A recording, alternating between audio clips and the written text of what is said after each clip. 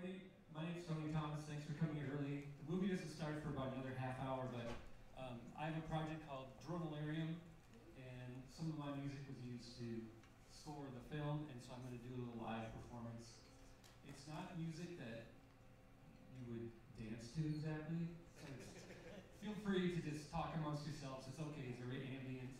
Um, it's it'll take you about two or it'll take you about a half hour to go through two chords.